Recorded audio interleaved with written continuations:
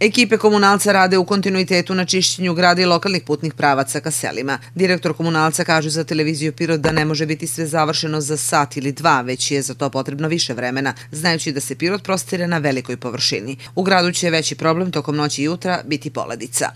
Verovatno neće biti nekih većih problema što se snega tiče. Naš problem će biti niska temperatura koja se očekuje u toku noći do minus 3, minus 4, tako da ćemo se boriti više sa poledicom nego li sa snegom, ali spremni smo, imamo količine dovoljno i soli i kalcijum hlorida, već je nešto malo se tretiralo, ali ćemo verovatno to u nekim popodnevnim časovima da e, odradimo i da sprečimo eventualnu poledicu ono što je stalni naš savet, kao i svih onih koji se bave ovim poslom, je oprez, oprez, oprez, a mi radimo svoj deo koliko možemo.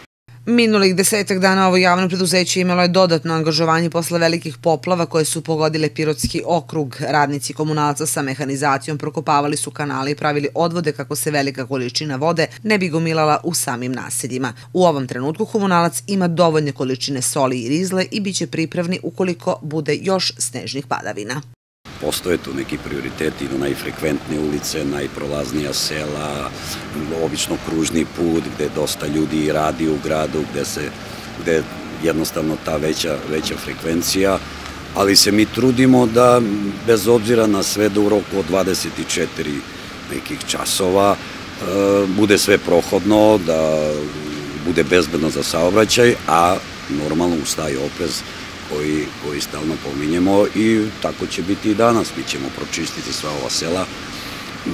Jedini problem može da bude da u toku noći opet dođe neka količina snega, pa da sutradan moramo intervenisati opet. Inače, ovo sadašnja intervencija, ovo što se krenulo, dakle, do nekih gasnih popodnevih sati će biti sve počišćeno i prohodno.